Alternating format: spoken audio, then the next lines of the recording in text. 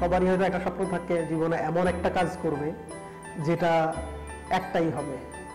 তো নতুন কাজ ক্রিয়েট করাটাই আসলে শিল্পীর সার্থকতা।